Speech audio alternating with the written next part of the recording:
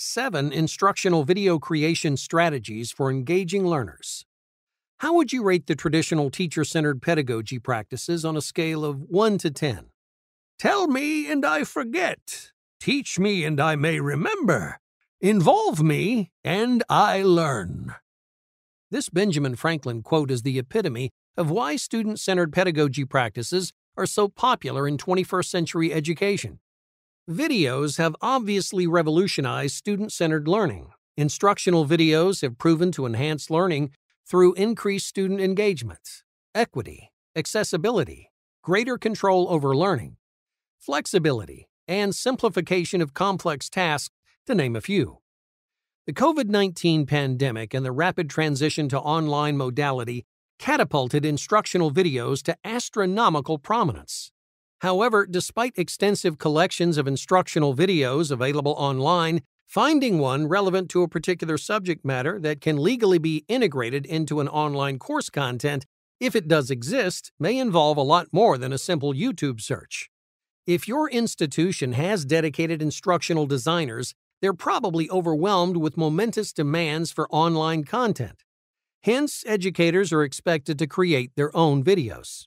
While this option may seem feasible because educators are familiar with their course, the creation process can be tedious and overwhelmingly time consuming if the educator is not familiar with video production. Some educators may argue that research shows students find informal videos more engaging than professional style videos. Although I agree with this argument, I still wonder how many times you started watching an instructional video only to lose interest after the first few seconds.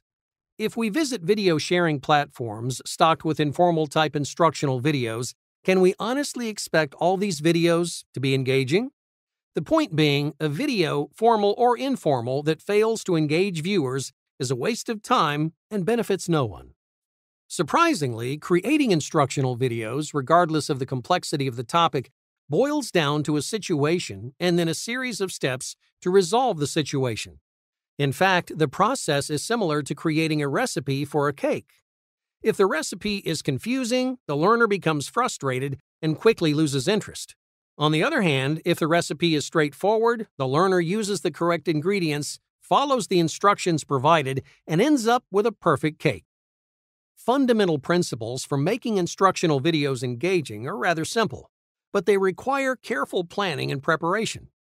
This course, based on years of teaching experience and best video production practices, is a recipe for educators to streamline the entire process of producing engaging, sustainable, and cost effective professional style informal instructional videos in the quickest possible time.